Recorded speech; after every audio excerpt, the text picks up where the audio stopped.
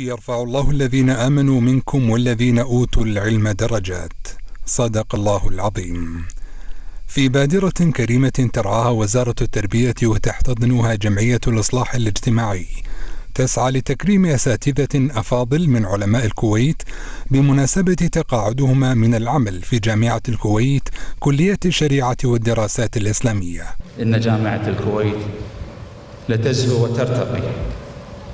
بمثل هذه النخبة من علمائها وأساتذتها الأفاضل الذين ينقلوا على الجامعة بعلمهم ومعارفهم وخبراتهم طيلة فترة عملهم. تعبير صادق لما قدمه هذين العالمين الجليلين من عطاء ملموس وأثر كبير.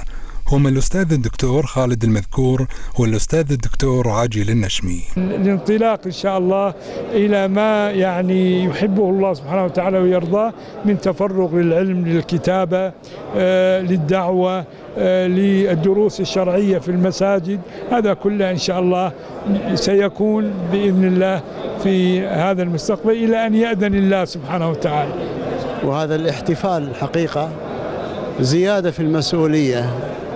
أن نقدم ما نستطيع أن نقدم لأنه آه، حياة المسلم ليس فيها توقف وإما تقدم أو تأخر.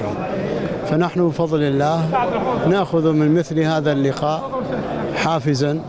لأن نقدم ما نستطيع. لمسة وفاء بحق من قضوا حياتهم في تعليم وتكريس علوم الشريعة الإسلامية عبر مختلف المنابر العلمية والإعلامية والدعوية. ما رأيته الليلة وهذه الأمسية المباركة آه، تظاهر للوفاء من الأجيال كلها سواء الأكاديمية أو الدعوية أو الخيرية أو الاجتماعية لهذين الدكتورين الفاضلين تسليما بفضلهما وتمنيا لهما بكل خير. نسأل الله عز وجل يعني آه، أن يمد بأعمارهم ويتمم لهم الخير وأن يروا يعني ثمار ما عملوه خلال هذه السنوات آه، في الأجيال القادمة بإذن الله. ويشوفونها ورود وثمار وبساتين ناشئة في الكويت تعمرها وتطورها. هي الأيام تنهي مسيرة عطاء متدفق.